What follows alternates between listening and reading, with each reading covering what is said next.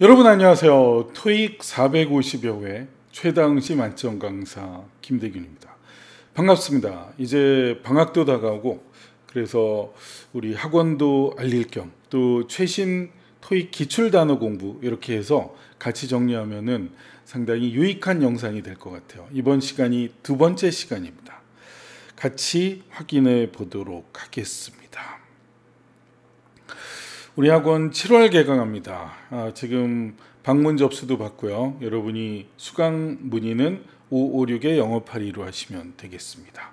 요 옆에 450여 회 숫자가 중요하다 그래서 최다응 시만청 강사를 넣어야 되겠어요. 김대균 학원은 지하철 어디? 아, 9호선입니다. 9호선 삼성중앙역 7번 출구 이렇게 있습니다. 여기 길가에 있으니까 아마 보시기 편할 거예요. 신경만 좀 쓰면 차로 지나가다가도 어 저기 있구나 이렇게 볼 수 있어요. 7월 시간표인데요. 아, 토익 월수금반, 또 토요 집중반, 수금 주음반, 토익 과외, 토익 하루반, 아, 시험 직전에는 하루반이 있어요. 요즘 만점 과외를 받으러 똑똑한 친구들이 와주셔서 감사합니다. 저는 똑똑한 친구 가르칠 때 무척 행복해요. 예, 여러분들이 또 이렇게 알아봐 주시고 그래서 너무 감사드려요. 자, 또 이제 제가 만점 받은 걸 계속 보여드려야죠. 가장 최근 시험도 만점. 예, 아, 이렇게 보여드리고 시작합니다. 아, 이번 시험에 처음에 시작할 때 be scheduled to가 나왔어요. be scheduled to 뭐뭐 할 예정이다. Be supposed to 뭐뭐 하기로 되어 있다. be expected to 뭐뭐 하기로 예상된다. 이것도 이제 be projected to 뭐뭐 할 것으로 예상된다, 추측된다. 뭐 이렇게 되는데 뜻은 조금씩 달라요. 그래서 제가 요 예문을 가끔 좀 쓰는데 제가 힐튼 호텔 어 이제 역사 속으로 사라졌어요. 제가 YBM 종로 에서 강의 대표 강사 강의할 때 전국 일타 강사로 강의할 때 힐튼 호텔에서 낮에 좀 쉬었거든요. 거기 수영장도 있고 헬스장도 있는데 사우나에서 이 터키 애들이 좀 떠드니까 교수님께서 You're supposed to be quiet. 좀 조용해요. 아, 이렇게 하니까 아주 조용해지더라고. 그때 shut up 이러면 이제 싸움 난다고요. 그죠? You're supposed to be quiet. 여기 조용하게 있어야 되는데요. 그러니까 아주 조용해지더라고. 좀 말을 하더라도 이렇게 한 마디가 좀, 아, 좀 격조가 있고 어, 품이 있는 그런 영어가 될 수가 있어요. 자, reportedly가 이번에 보기 중엔 나왔어요. 시험에 reporter가 답일 때 보기 중에 나왔던 단어 중에 reportedly 보도에 따르면 이런 단어예요. 그래서 이거는 200여 명이 보도에 따르면 사망한 것으로 알려졌다. 지난 2주 동안의 싸움에서 아, 지금 뭐 아, 이 러시아랑 우크라이나 전쟁도 심각한데 아무튼 많은 사람이 죽고 있죠. 그래서 여러분이 뭐 불만이 많을 수 있어요. 아, 취업도 안 되고 요새 주식 좀 투자했는데 또 떨어진 분들도 계실 테고 그렇지만 사지가 멀쩡하고 응? 그죠? 사지가 멀쩡하고 또 이렇게 생각하면 뭐 감사하죠. 살아있는 것만으로도 감사한 게 또 있어요. 그래서 작은 것부터 감사하면서 오프라 윈프리가 뭐라 그랬어요? 하루에 자기 전에 다섯 가지를 감사하면 아, 계속 좋은 일이 생긴다 그랬는데 그 사람 그렇게 해가지고 무척 부자가 되고 행복하게 살고 있죠. 예, 여러분 그런 친구들을 본받으면 좋겠습니다. 저도 이런 말씀드리면서 저도 그렇게 살라고 하는 거예요. 아, 자, I'm still hungry, 그죠? 아, 이러면서 욕심도 키우고 야심도 키우는데 그래도 항상 감사하면서 어, 사는 게 또 중요한 것 같아요. allegedly 전하는 바에 따르면 이 reportedly가 나와서 보도에 따르면이 나오니까 전하는 바에 따르면 주장하는 바에 따르면 이게 생각나. 이게 제가 고대 타임반 회장이었어요. 어, 회장을 했을 때 그 타임즈에 많이 나오던 뭐 전하는 바에 따르면 이렇다. 뭐 이럴 때 이거 많이 씁니다. 자, 바로 그곳이 전하는 바에 따르면 그가 아내를 어, 죽인 곳이다. 오 예문이 무섭네. 아, 하여튼 전하는 바에 따르면 거기서 그 남편이 아내를 죽였다고 하는 곳이다. 그리고 그는 체포되었다. 전하는 바에 따르면 차를 훔친 혐의로 어, 그래서 체포되었다라는 거예요. 아, 그래서 이게 뭐 딱 정식 보도는 아니면 아니지만 리포티들리가 이제 보도에 따르면 이죠. 그거보다는 신뢰성이 좀 덜하지만 누가 하는 말에 따르면 전하는 바에 따르면 이게 이제 보통 그 소식통을 확실히 출처를 밝히기 싫을 때 우리나라로 식으면 우리나라로 말하면 이제 국정원 같은데 그래서 그저 뭐 익명의 제보자가 뭐 이러면은 국정원인 경우가 꽤 있대요. 아그제 저 후배 중에 국정원 다니는 애가 있어서 걔네들은 그 어, 뭐라 그러더라 국정원을 회사라 그러더라고. 아, 그리고 나, 재미있었던 게 이 친구가 와이프랑 싸우다가 보면 심지어 그런 얘기가 나온대요. 와이프가 당신 국정원 다니는 거 맞아? 하도 회사 얘기를 안 하니까 아, 그렇다는 얘기도 들어봤습니다.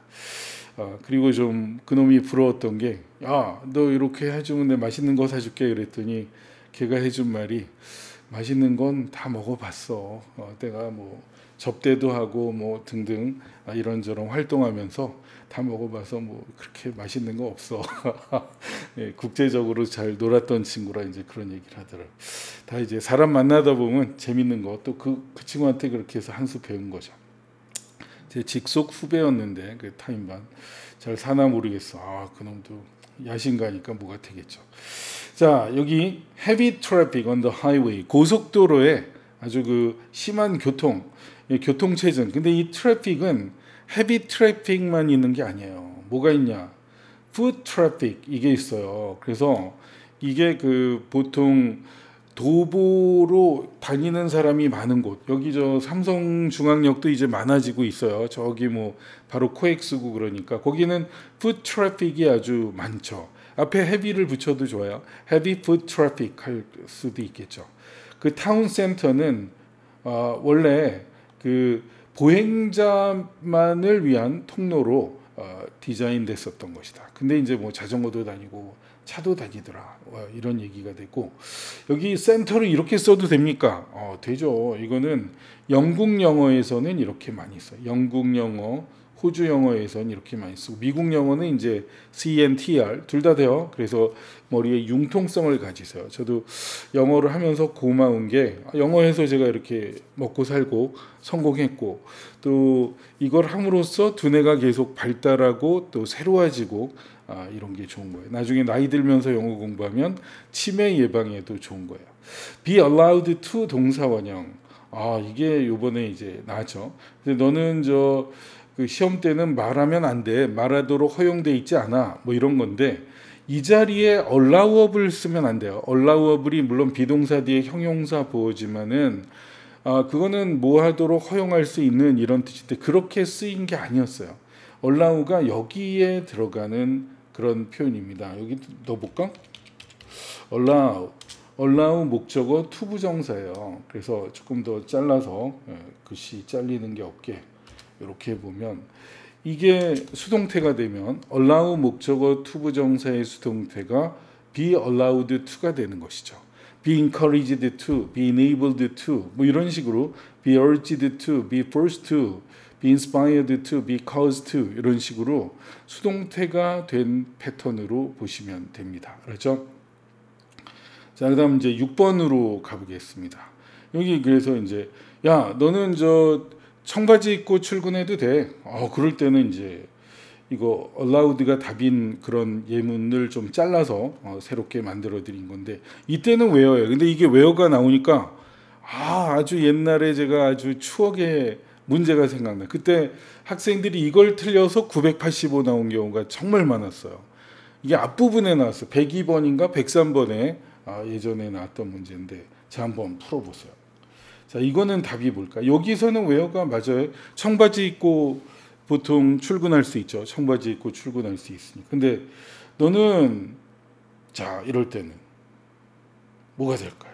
아, 이거 어 저뭐이 an apron 많이 들어봤으니까 A A 찍어서 많이 틀리고 그날 많은 사람들이 술 먹었어요. 아 그날 호프집이 잘 됐어요. 맥주를 많이 팔아가지고. 근데 답이 bring입니다. 왜 그러냐? 이게 상식을 동원해야 돼. 이거 어, 조심해야 돼요. 왜 그랬냐면 여러분이 주방장이라고 쳐요. 주방장이라고 백종원 씨 또는 어떤 그 요리 어, 하시는 분이라고 평소에 전철 타거나 이럴 때 앞치마 두르고 가나요? 그게 아니잖아요.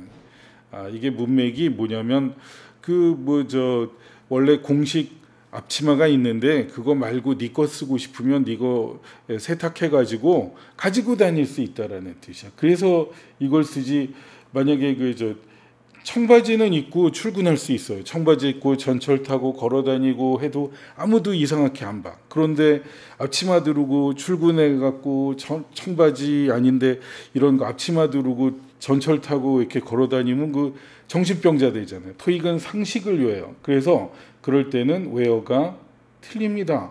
wear an apron이 말이 될지 몰라도 안 돼요. 그래서 그러고 이 투랑 안 어울려요. 그래서 bring your own apron to work 해가지고 이 bring이 답이었던 그런 문제가 생각이 나요. 그래서 요거는 이제 be allowed to에서 이제 뽑아낸 건데 저는 이제 그래도 토익 선수잖아. 토익의 도사잖아요. 토익의 신이라고도 하죠. 제가 이렇게 자기 관리를 해. 토익킹이죠. 김대균 토익킹. 그래서 봤던 한 문장을 가지고 이런 것까지 연계해서 여러분에게 알려드립니다. 아셨죠? 아, 우리 토익 공부 김대균 학원 사랑해 주시고요. 아, 우리 학원 아, 삼성 중앙역에 있습니다. 삼성동이니까 또 이 동네에 오셔서 공부도 하시다가 코엑스도 또 아, 구경하고 어, 또 재미있는 데 많으니까 이런 데 또 다니시면 되겠습니다. 아이고 이 저 뭘 잘못 건드려 놨네. 그래서 예, 카톡 하는 말이 이제 영상 그만 찍으라는 얘기인 것 같습니다. 감사합니다. 인생은 즐겁게 토익은 김대균 학원에서 김대균과 함께 thank you 감사합니다.